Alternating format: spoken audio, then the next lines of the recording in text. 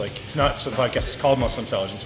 I just because I couldn't find a better name, but it's like ultimately paradigm challenging human beings who are doing great things and developing their own methodologies and their own unique thought processes. And like I just I'm not about uh, bringing on people who are blowing smoke up each other's ass. Right? I don't we're going to challenge the thought process and like I've noticed that with your show. yep. A lot of guys that challenge the. because they're unique thinkers, free thinkers, right? I hate people who are like inside a box. Here's the box, and we're over here. Mm-hmm. I'm not, that's the way I raise my kids. That's why I like to talk to you about that too. It's like Yeah. very fascinating, and Kurt met Kurt's parent as well. I'm just talking about like how do we do it different, like outside of this typical North American standardized model of like, hey, you have to do this, you can achieve this, and you have to learn this way because this is the way everyone before you learn. And I'm like, fuck that, fuck that. Like my kids aren't in school. Take them out. Yeah. Brilliant. Yeah. Okay. So best thing ever. obviously we're already rolling. I want to introduce you guys to Ben Pakulski, pro bodybuilder. Uh, man, you, as a pro bodybuilder, you were in the Olympia. Yeah. Did you? What did you? Did you win? No, uh, my best placing was second at the Arnold Classic, That's freaking amazing. 2013. And so, as I acknowledged, the various ways I was wrong with regard to bodybuilding, and uh, as a you know strong man and all these things, I'm into lifting, but never for actual muscle building or aesthetic or muscle muscle shaping, which is huge with bodybuilding. And uh, and Ben is our guest expert, who's going to be talking not just about bodybuilding per se, but what he calls muscle intelligence. How about all the things I was wrong about with the muscle building space, right? So we all go through that phase of like, just lift heavy, just get bigger, Yeah. just get stronger, this mindless training, right? Which is why the, the kind of counter of that is muscle intelligence. Most people are very mindless in the way they train. They go in and they just lift. And so my approach is very much like, of all the things I've done wrong, here's all the biggest mistakes, and here's how to not go through those pains. And most people don't acknowledge that they're doing something wrong until they're, you know, over 30 years old, or often over 35. Because when you're 20, you get away with whatever, man. You just train hard, you eat more, you grow. But at some point, you all hit this. Everyone hits this this roadblock where things start to hurt. Yeah. Like, I can't really do it anymore. Like I'm, this I'm not responding the same way. Well, yeah, that's called age and wisdom. We speak about.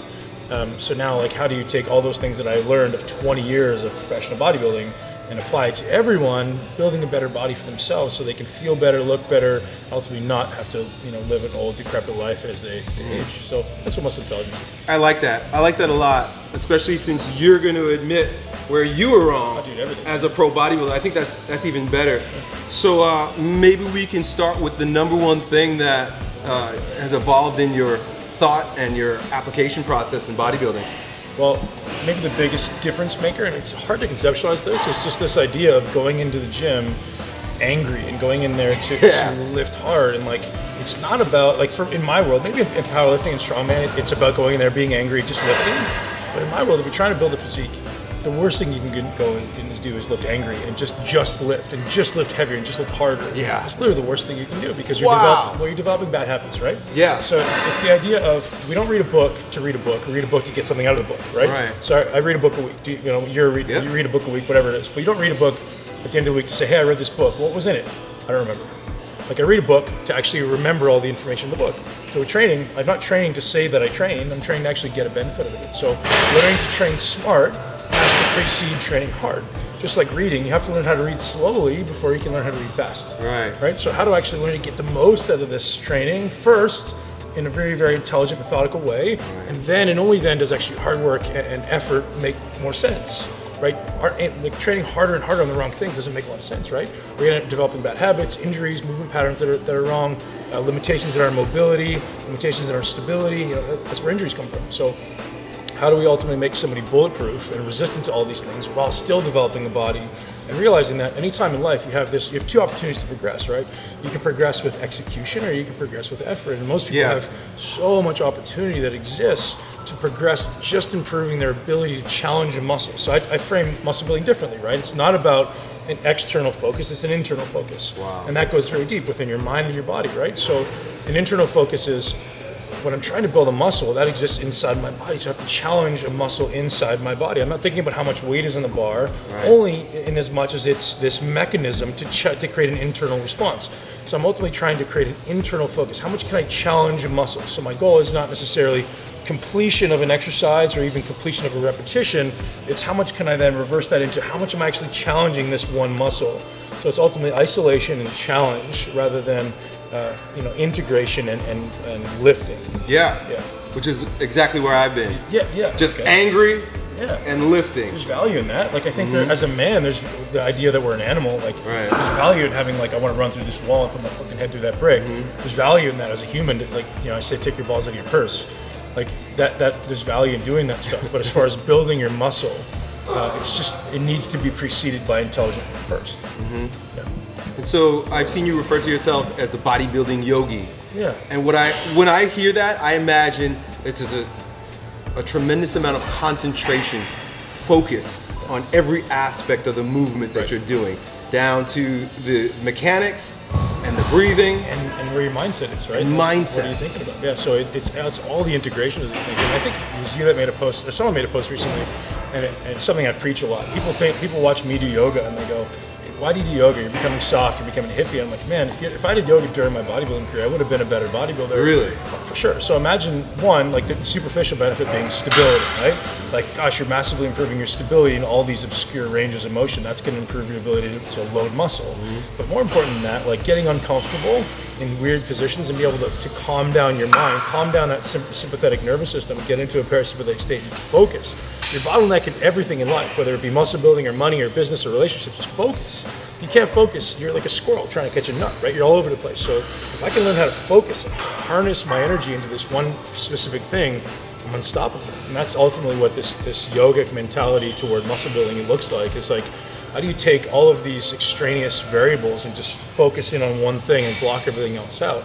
And you know, I think muscle building should be meditative. Like if- if you're in the gym and you're slinging you music playing, you're slinging weights, and you're tongue hanging out, you're removing this opportunity to get better in, in becoming more mindful, becoming more present, right?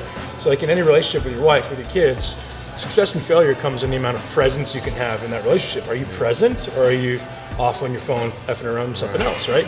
So, using training as your daily, almost meditative opportunity to implement discipline and develop character. Like, can I be focused and can I be present and can I actually give my all? And am I disciplined enough to not quit and keep going? And now I can start to, to learn my mind and learn how my body wants to break down, where I want to cheat, and where my body just naturally, instinctively wants to stop Right. and go deeper and go deeper and go deeper. And that's really where the true benefit starts to happen, right? Both mentally and physically.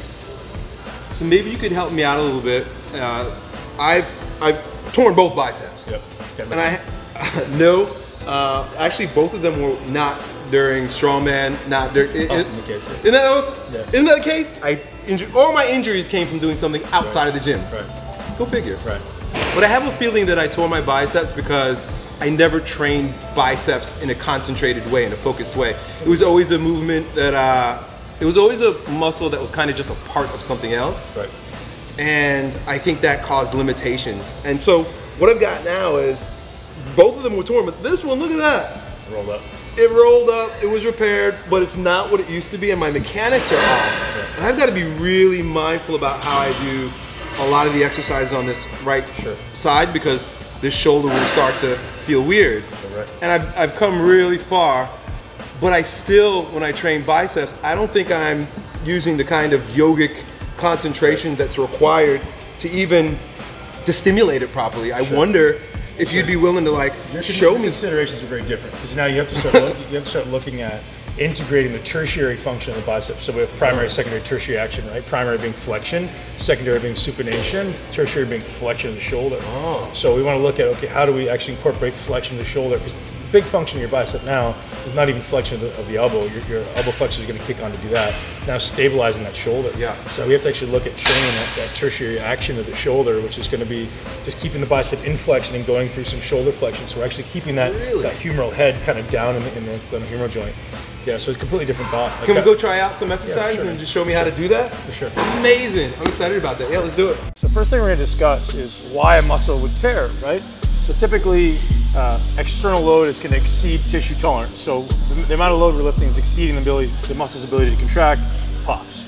So well, why does that happen? Typically, a muscle's ability to contract will be governed by how much stimulus you put it in the past, so you've exceeded that, and also by, by limiting range of motion. So as we get bigger and stronger, a lot of our mass sits in the front of our body, right? So if you think of our spine, relative to everything that sits on, on, on the front of our body, we tend to get into these positions, right? We mm. tend to flex forward at the thoracic spine, roll forward the shoulders. So what that does, it rolls our shoulders into internally rotated position. So we start to lack external rotation. So if you lack external rotation and you try to supinate the arm, so let, let's, let's say I have like a most people tear their deadlift, their their bicep on a deadlift, right? So if I'm trying to if I'm trying to do a, a deadlift, I would need a bar going through my hand here. But if you notice, I can't get that much external rotation with my shoulders. So now my my body goes, oh, I'm going to supinate my bicep into this position to get me there, or I'm going to tilt my body. So all these things are just positions of instability. So we put our body into positions of instability, and we're, now we're trying to literally supinate our arm with however much weight is in your hand and your bicep ends up being the thing that does it rather than being like a mm. structurally Oh, right. stable thing. Mm-hmm. So your bicep is this thing that's supinating, right? You see my bicep moving right there just by turning in that supination. So if I don't have external rotation at my shoulder, and I can't get into that massively. See, like this side, I can get to the point where I'm relatively flat. So if Oh, I had oh, yeah. a bar in my hand, it's relatively good. This side, I'm only at just about 45 degrees. So if I went into the underhand, over under deadlift with this hand, this bicep nine times out of ten is going to tear because it's now trying to supinate into that position with the bicep. So a lot of things, uh, a lot of times that's what causes injuries to happen. But in your case, it was just like your, your applied load exceeded tissue tolerance, right? So I yanked on it, tissue never done that before. We're getting a little older, bang, things happen, right? So um, as far as getting it stronger, now we're looking at stabilizing structurally that shoulder to allow you to prevent injuries long term. So if that bicep plays this tertiary action of keeping that, that humerus, so the bone of your arm, in the socket. So if you think about that shoulder, Right, yeah. there's no there's no uh, structural stability. It's all it's all uh, muscles, right? Mm-hmm. So that bicep plays a big role in the anterior stability. That's where I was having the problem. Yeah. So training that function looks like this. So if we so if we look at function, if I just do this, that long head of the bicep is contracting. So if I push down, obviously my tricep going to contract. So by going up, the long head of the bicep has to contract. So now I curl up, and then I finish the function with a little bit of just shoulder flexion. So I get the full elbow flexion, and I finish with just a little bit of shoulder flexion. Right? And I can manipulate how much resistance I have. Let's try that, Elliott. So let's go here. I want you to sit, now, now the cable's straight. I want you to go just above straight. So now the shoulder and the bicep is actually loaded in that position. And then I want to curl and then finish. So we're just trying to train that tertiary action of the bicep. You should get a really hard contraction of the bicep. And um, ultimately, you're, you're training that shoulder flexion function. So here, Yeah, curl all the way into elbow flexion. Good. Now just keep going a little further. There you go. That's it. Yeah. So, Oh. yeah. So if you um, start there, bring the arm up just a little higher. Good. Go from there. What we don't want to do, you keep going. You're doing great. We don't Okay. want to have the elbow go too high because then we're going to lose tension. Just enough so you like feel the tension rather than thinking about the movement. I want you to feel where the tension is. Right. Okay. So keep that elbow high as you. Um, good. Now contract. Pull with that. Contract hard. Contract hard. Contract hard. Hold that tension as hard as you can. Now use that tension to pull you into a little bit of shoulder flexion. Right. So rather than thinking about the movement, we're thinking about the muscle. Internal focus. Hard, squeeze hard, squeeze hard, squeeze hard. Now use that flexion to come shoulder. Yeah, there you go. okay.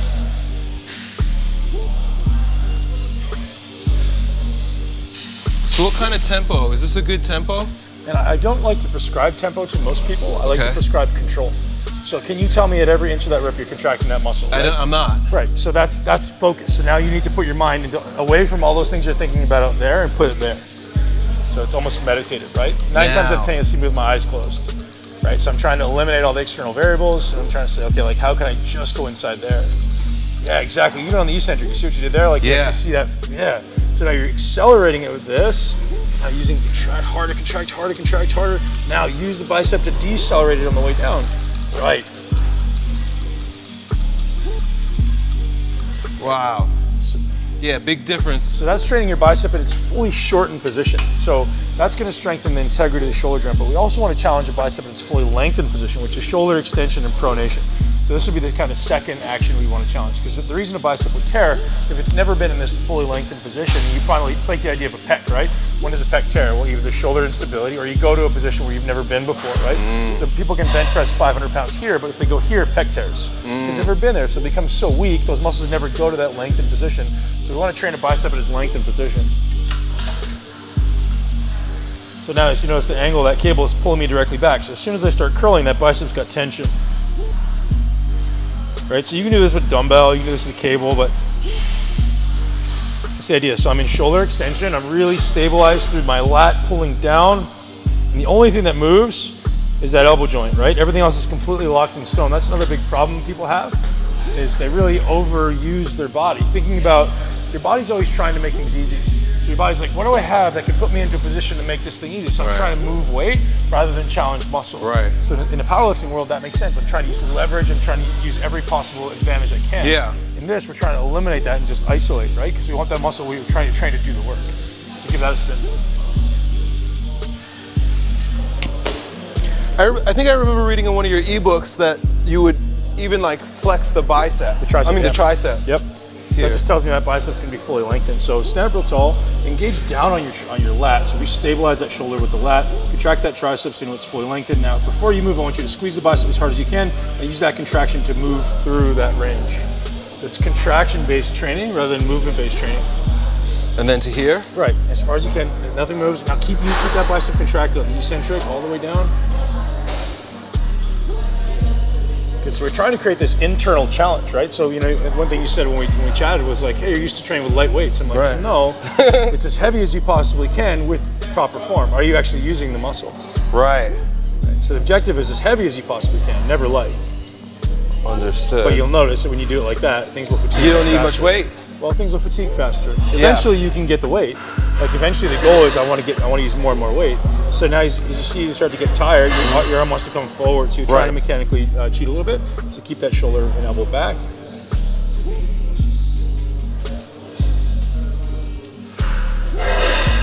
Good. Use that lat to really keep that whole scapula down. There you go. So this would be the type of thing that may have prevented that type of injury. I think you're right. Just letting that bicep know, like, hey, you have to be strong in this lengthened position. Yeah. Under control, right? When you're doing it ballistically, that's when you'll tear yourself in the gym. Wow. Yeah. You really gotta focus. Take your So, time. Yeah, the simplest way to think about it, every, every muscle you train, I think about it in three lengths. So fully shortened, fully lengthened, and then somewhere in the middle. So everyone usually just trains at one. Everyone trains in the middle, right? So Mm-hmm. because I'm strong here, nobody ever goes here where they're weak and here where they're weak, right? So always thinking about Mm-hmm. Yeah. Never. I've never done anything like No, this before. Even with, even with bench press, like everybody will do a bench press, they'll even do some flies, but whoever goes to this position where the pec is actually fully lengthened, like nobody. So this extra rotation, right? And then how about fully shortened? Like whoever trains here, like some people by accident, but never intentionally, right? So thinking about every muscle in threes: lengthened, mid, shortened. And are you challenging the muscle through all of those aspects of the range? And if you are, the likelihood of injury goes down. It's not eliminated. When you train like this, I would say injury is eliminated. But uh, you know, most people end up going faster or cheating or using weights that are outside of their ability to control. So, but when you train those three aspects of the range, injury is almost a, a like inevitably can't really can't really happen because you're in so much control and those muscles are just used to being challenged in those ranges. Being present. You even close your eyes. You mentioned. Ninety percent of the time. Wow. Like obviously I'm squatting or something, my eyes are open because I have to kind of pay attention. But Yeah. if it's anything that, that's in a fixed position where I know I'm safe, I'm, I'm just inside, man. Um, and yeah, whenever, whenever possible, I'm so meditative, literally thinking about both ends of this muscle. So the, the, the metaphor, the analogy I always give is like, if a muscle has two ends and I have you know one end in each hand, imagine it's an elastic band. If I give you one in the elastic band and I say create tension and, and you pull it and I go at the same and I move with you. So if you pull that band and I Right. moved with you, how much change in length in the band? None, right? So there's no tension being created. In order for you to create tension, I have to generate absolute stability here for you to pull that one. Oh. now there's some stretch in the band. Now there's mm-hmm. some tension being generated, right? Well, it's the same in muscles. So I need to be so focused on if I'm training this, I need this thing to not move. So I need this so anchored. So I was saying like stabilize that Yeah. lat, right? So like stabilizing that lat needs to be so stable so that this thing can actually generate maximum force. Most people are doing bicep curls like this. Yeah, and everything's so, moving. Yeah, so they're not actually generating tension in the bicep. They're generating movement, Mm-hmm. they're, they're overcoming inertia, and generating momentum, they're not actually generating tension in the muscle, which is ultimately the signal for growth. So, what are some of the uh, other things you were wrong about? Yeah, everything, man. Well, I think as, as, a, as a kid, so I started this at 15 or 16, and as a kid, there, there has to be some type of egocentric drive, right? There has to be some drive to like, I want to be strong, I want to be big. Oh, yeah. So the idea of lifting heavy weights makes sense. To tell a kid like, hey man, you got to slow down, you got to chill out, it's very hard, right? He's like, F you, I know better, which I, which I literally deal with every day. Yeah. Um, and I get it, but at some point you realize like, oh, like that guy's right. If I actually done that from the beginning, I would have been able to grow so much faster, so much better, so much more consistently without injuries. So, but I think you, there has to be some type of transcendence of ego for you to actually realize that. Mm-hmm. You know, I always say like before 30 you train with your balls, after 30 you train with your brains. Yeah. And it's it's a bit obscure, but like that's just the way. Like most people before 30 just, just train hard and they grow. Doesn't mean it's right. Doesn't mean it's the best way to do it, but you do it, right? Mm-hmm. So uh, it's just kind of like work. Like when we're young, we just work hard. Like we're just gonna work harder than everybody right, in, in business. And then eventually you realize, like, well, it's kind of this 80-20 principle. Like if I Yeah. do this 20% of things, I'm gonna get 80% 80% of the results. Like, okay, well let's do that. That's working smart first, right? Rather than doing everything, we're going to delegate a few things in business and we just focus on what we're great at. Yeah. That's that's the same in training, man. Like you learn these few basic smart principles, and that's what you need to get good at. And most people can get uh, make mistakes by trying to do too much, and I think there's there's too many things that go into fitness. And fitness is so so simple if you uh, are wise enough to see it. So, uh, when you're training a muscle, how many different exercises do you do? As few as possible. As few as possible. Okay. So, and, and the answer is the ones that you're really, really good at. Here, so here's why. So, if you want to play basketball and you want to go play in a game, but you don't know how to dribble, you can't play in a game.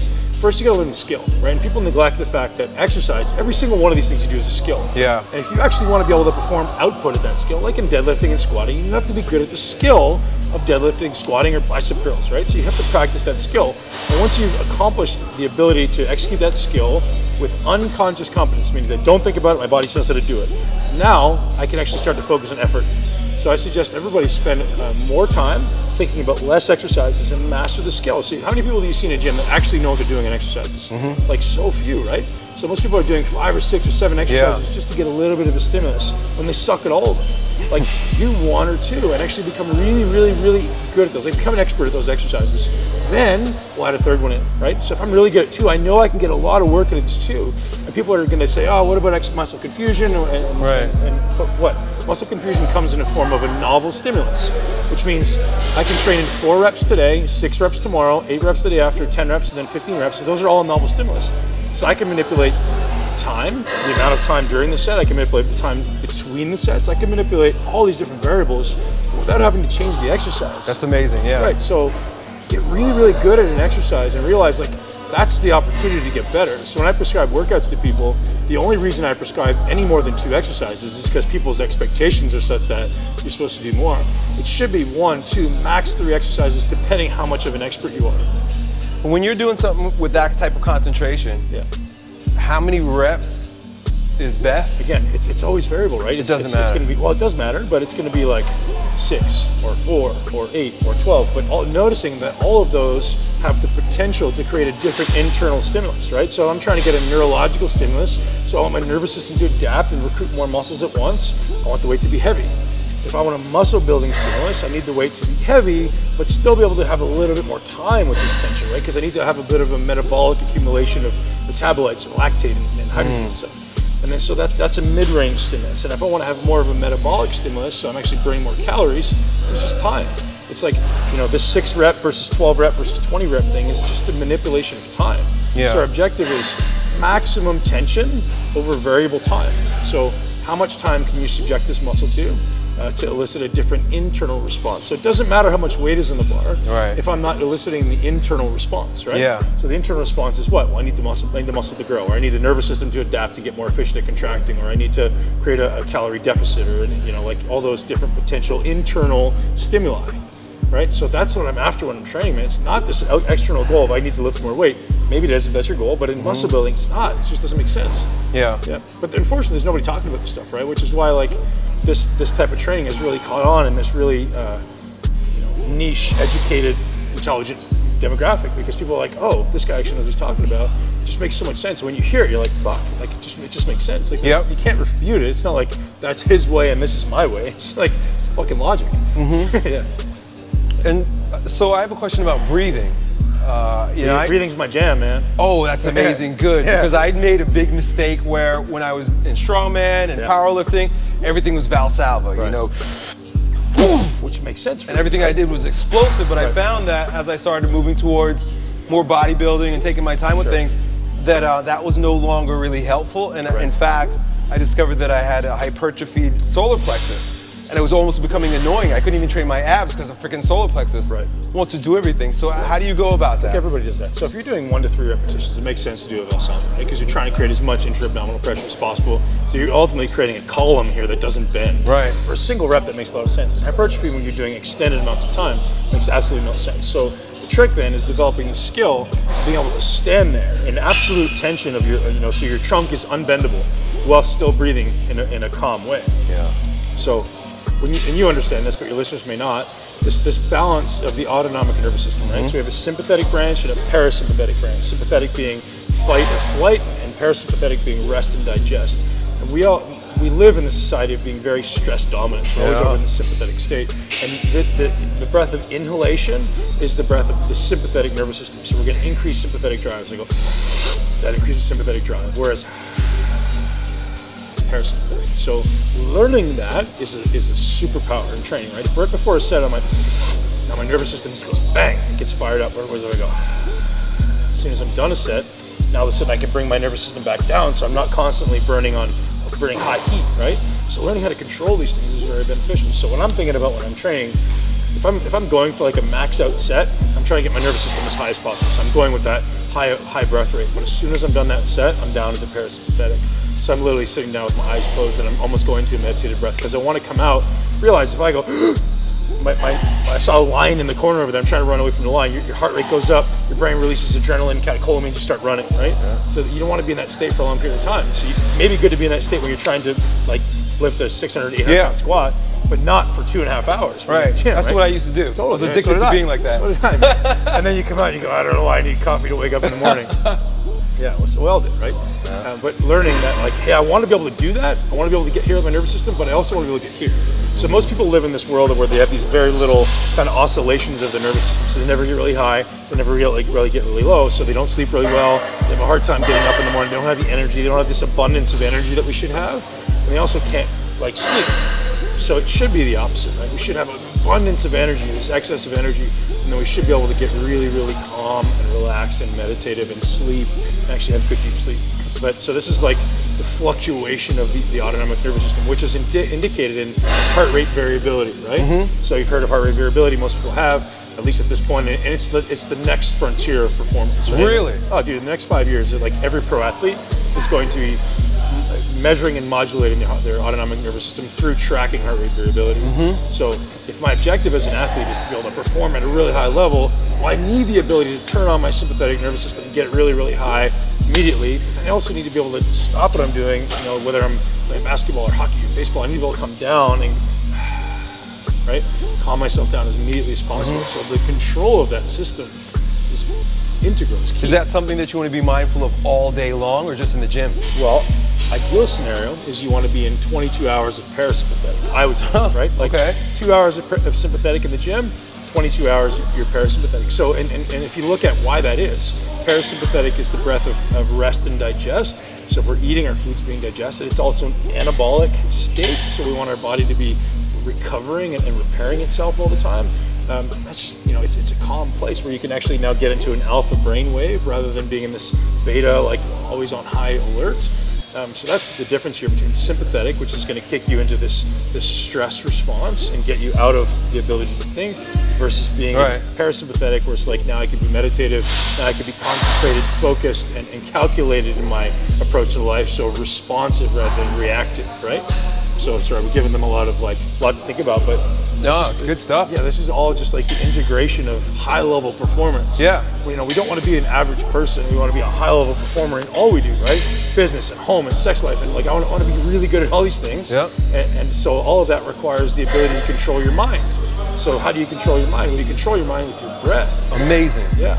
Yeah, it seems like the breath is the It's the lever gateway, man. point for everything interesting stat is uh, a girl was on my podcast, Micah Hamilton. She's amazing. I'll introduce you. Um, so, in current society, in I think it was 2018, the average number of breaths per minute, so our respiration rate, is somewhere between 17 and 19 breaths per minute. Sounds about right. I people well, that sounds, yeah, that sounds about what I would do. Well, back 100 years ago to 1920, the average uh, respiration rate was between 5 and 7. Really? it's tripled in In- 100 in years. the 1920s. Yep. So it's tripled. Just because of the way they were living. Exactly, exactly. So you know, no stress, no cars, no uh, EMF, no blue lights. Like it's just completely different. So all these things, like our technology, uh, it's destroying our health. ah, So it's a blessing and a curse, right? It's amazing It to is, have right? because like information. You know, I was telling my wife about homeschooling. Like information, learning is never going to be the kid's problem. It's never going to be the ability to, to gather information. It's going to be keeping the curiosity to get to get, want to go out and gather the information, right? Because if I have a question about something, I put it in Google, I have the answer. Information's Yeah, at my fingertips. right. So learning is never going to be the problem, but it's keeping the desire to learn, and that's what we have to Mm-hmm. teach in schools. Is like how do you harness curiosity and a passion for accumulating knowledge and wisdom Mm-hmm. and anything, right? So um, I think that's really the thing is we have this blessing of like unlimited information, Mm-hmm. but we lose the, the desire to accumulate it because it's easy. or to apply it. It seems like everybody knows everything, Right. but nobody Right. knows how to use it. Right. Yeah. So, what are some of the best biofeedback? Like, I think there's some technology that helps us know our heart rate variability. Yeah, I use an Oura ring. So uh, Oh. yeah, it's on your finger. I don't have it on now. Because it's on your finger, it actually has more accurate uh, heart rate Yeah. measures. Um, so a wrist, uh, like a, I also have a Fenix by Garmin, so I compare them. It's a little bit different. But I just prefer the Oura, ring because one, it's not as obtrusive. It's kind of Yeah, not I've my seen way. those. They're amazing, man. Amazing. So it measures my sleep, measures my respiration rate, so my number of breaths per minute. Uh, re- it measures my heart rate. So it's, it's an amazing tool, and it's not in the way. It kind of just looks like a second wedding ring, right?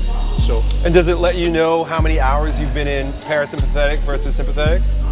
No, so it'll let you know your heart rate variability. So Okay. that will tell you like where is my heart rate variability relative to what my kind of baseline is. So Right. the higher your heart rate variability, the better. Low heart variability. The variability. more it changes, the right, better. Right. So the low heart variability means I have this very slight oscillation, and my nervous system is non-responsive. So it's not getting the peaks, it's not getting the recovery. Right. So it's just kind of sitting in the middle, which is most people. Yeah, that's why I'm giggling. Yeah, yeah. So we want to get the ability, like I want to be able to get primal and really, really get fired up. Ah. Right. But then when I'm done, I need to be able to get into, I need to be a, a yogi, right? I need to be a, I need to be a monk. Yeah. That's the beauty of, of what, you know, this should be, what muscle building and bodybuilding should be.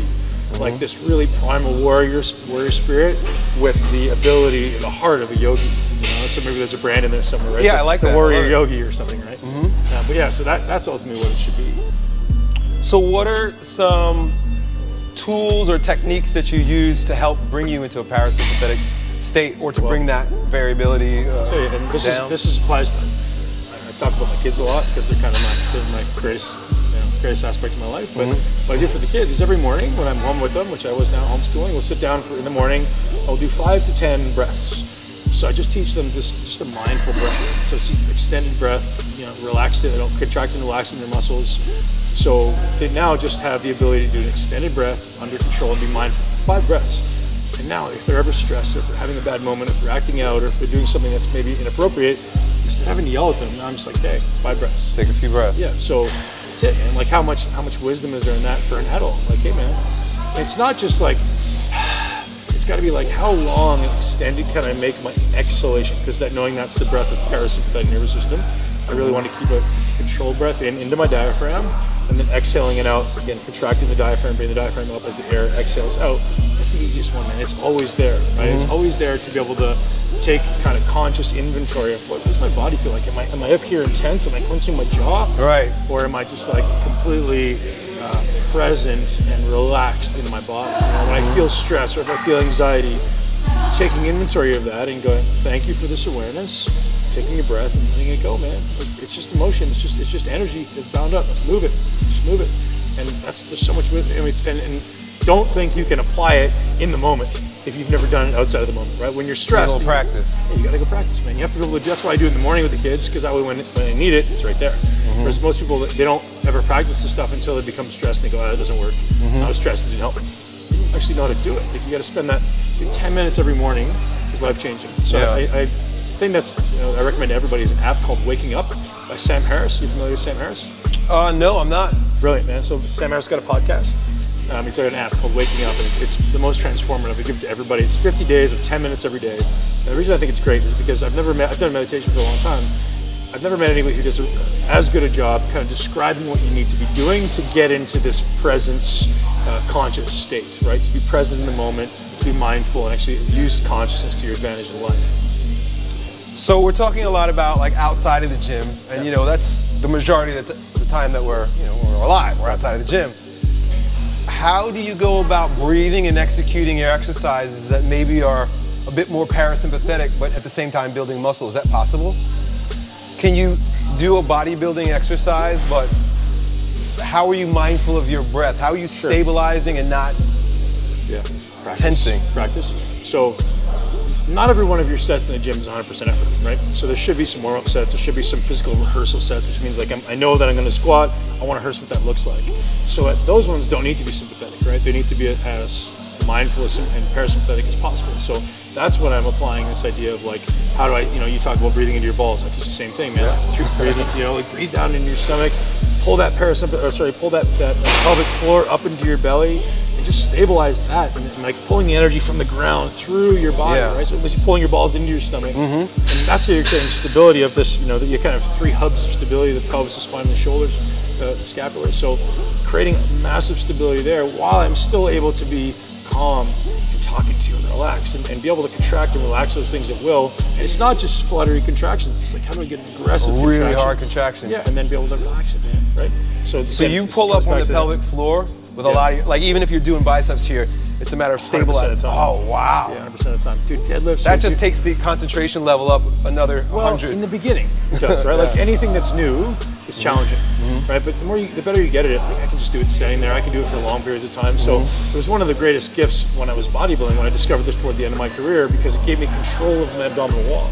And the big problem in bodybuilding, you see these cuts because it's. I don't think it's because of distension, because of drugs that everybody thinks. I think it's this problem that nobody pays attention to their stomach. Right. Maybe drugs are a consideration, but like when you have to eat to be 260, 280, 300 pounds, you get it. It's a lot of food. So your stomach's always and then you, you lose uh, conscious control of the abdomen of the pelvic floor. So as soon as I learned to control that again, my waist went. I literally lost four inches in my, in my waist in the last year because I just paid attention to my pelvic floor. And people go, "What did you do?" I paid attention. That was literally my response. Like, What'd you do? I paid attention. You can do that, and all of a sudden you have the ability to control your waist in all these positions and be able to do it with relative ease, because I've practiced so much, it's easy, man. Mm-hmm. Yeah. I first learned about that exercise from Paul Chek. Yeah. And so it was pelvic stabilizing exercises, lower abdominal or transversus abdominis. Yeah, yeah. But then I also heard about it from Mantak Chia. Do, do you know who that is? No. He was on. A, he wrote a book called The Multi-Orgasmic Male. Okay. Yeah. And same so thing. by right? training that muscle, Yeah. you actually can control your ejaculation. Right. So Yeah, it's totally. twofold there. Yeah, totally. totally, absolutely. Yeah, very cool. So I, I would love to actually talk maybe outside the gym for a moment because I love the fact that you're your dad and you're homeschooling. What made you decide to homeschool and what's that what's that like? Uh, it was multifaceted, right? So um, I travel a lot um, by choice, and I'm like, well, if I'm going to go on the road for a few weeks at a time, I'd love to be able to bring my kids, and they're, you know they're young, so I was like, why not? Why can't I? I can afford to. My, you know, the, the job allows me to. Uh, my wife was willing to, to contribute and be part of Yeah. it. Um, so that was a big part of it. We had a decision, and we made that decision. And I'm not very, um, not a very, very big fan of the current schooling system. Sure. Right. The idea of you put 30 kids or however many into a classroom and say you all need to learn the same thing.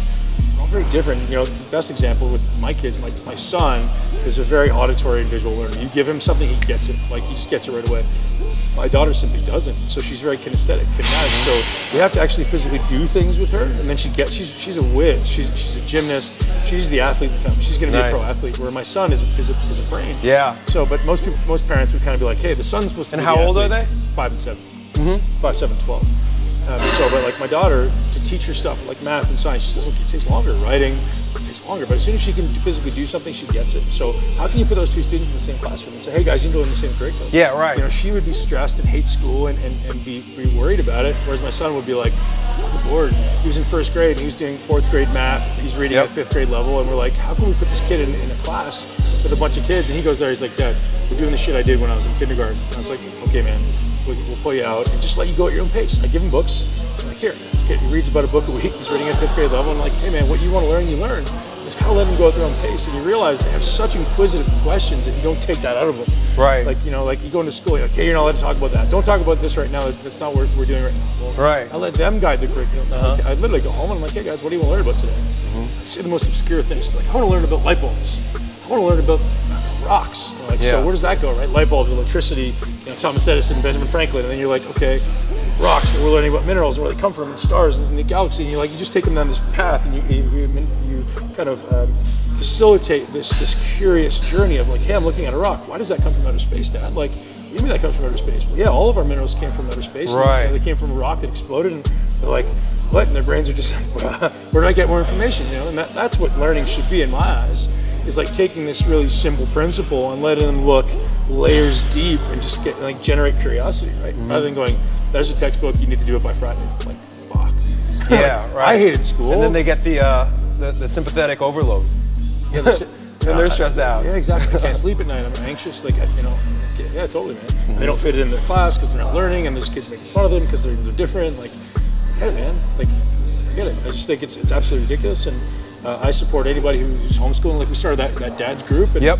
I think it's a brilliant idea just to give dads uh, an opportunity to think differently Mm-hmm. and realize it's okay to, to not fit in with the the normal American or Canadian. Oh, or it's North better American- Oh, dude, not to well, fit yeah, well, yeah, we say that, but like Uh-huh. again, that again, that's just being uh, you know subjective, right? Like, like I'll just choose your path, and we're there to support you. Yeah.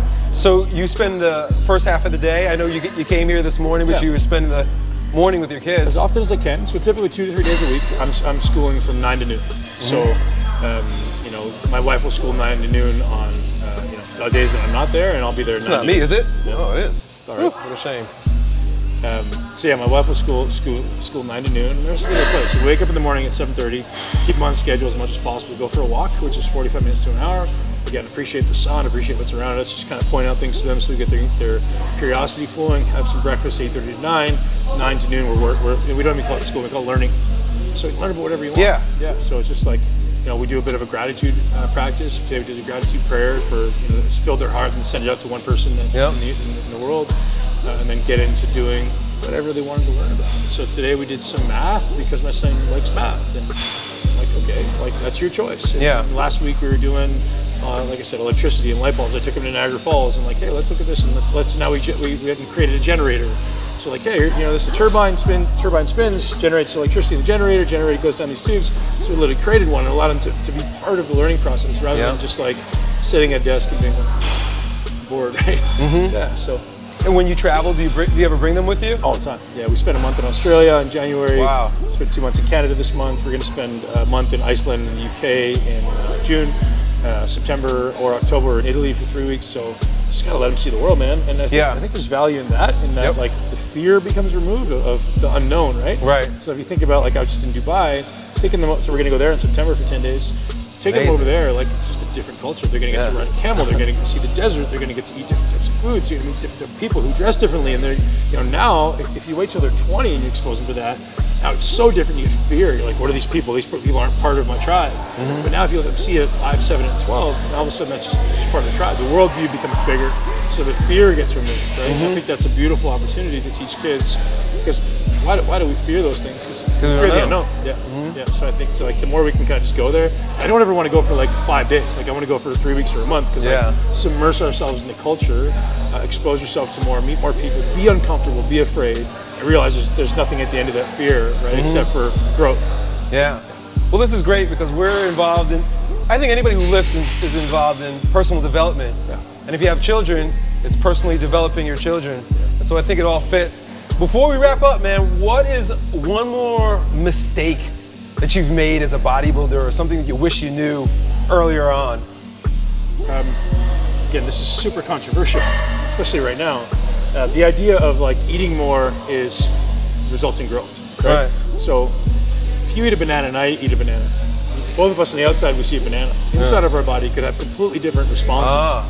So why? Well, if you're in a stress state and your brain's worrying about money and, and taxes and relationships and whatever business, there's a sympathetic signal going on in your body. Mm-hmm. It shuts down, shuts down digestion, increases cortisol and epinephrine. So I'm in a, I'm in a relaxed state. I'm in a parasympathetic state. I, a banana goes in my body. I'm in a rest and digest state. So my body it breaks it down, it absorbs, it assimilates the banana. You may it may sit in your stomach and become uh, gas. It may become putrefied. Yeah. It may become inflammation. It may become those other things. Just because we're different people. Mm-hmm. So when as a bodybuilder, you're so consumed with the numbers, right? Like, I Yeah, need more calories. calories. Yeah.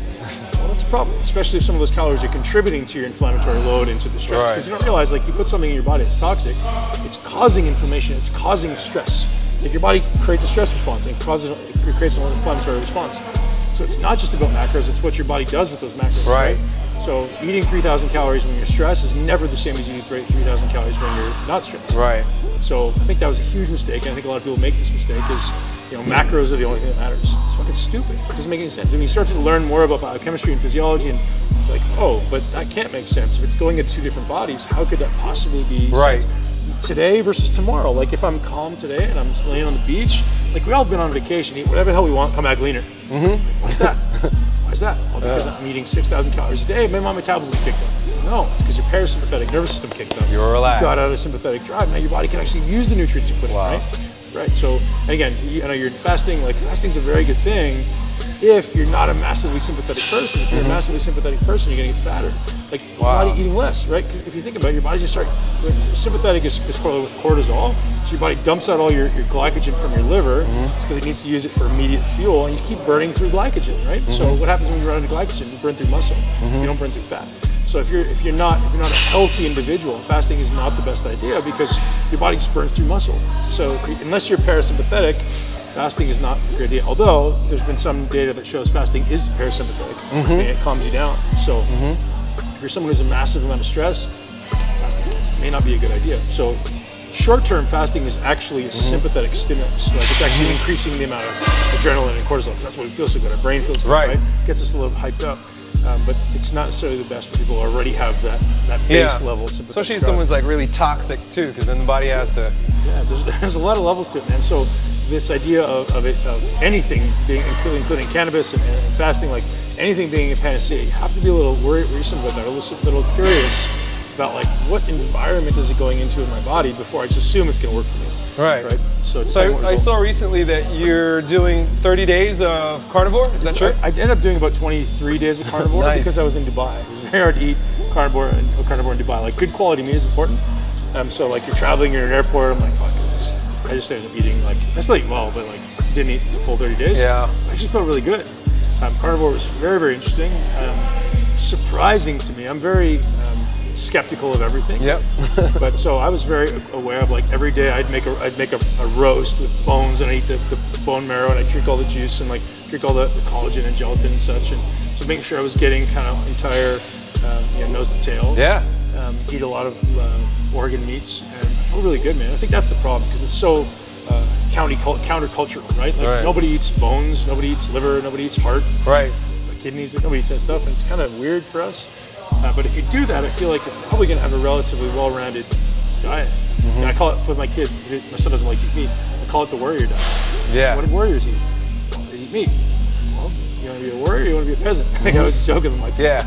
You know, you, you want to just eat rice? Peasants eat corn and potatoes. Yeah, yeah. Like they eat what's left over, right? Like, Yeah. yeah. What they can find. So, yeah, it's just my crude way of teaching my kids how to eat, but. Yep, it works. Yeah, yeah, yeah, man. So uh, I, I feel great, dude. I felt great when I was doing it. And now my, my diet's not much different. It's just with a little added fats and some vegetables. So a little more well-rounded. Nice. Yeah. Yeah. Well, thank you so much, man. Thanks, brother. Appreciate this time. Appreciate your expertise. My pleasure. And man. your Thank you. presence. Thank you, brother. And we're gonna actually, uh, we're gonna get on Ben's podcast right now. I'm going to reverse the roles. Yeah. So if you're watching, make sure that you click over. I'll put a link down below so that you can. Muscle Intelligence in. Podcast. Yeah. do cool. Done.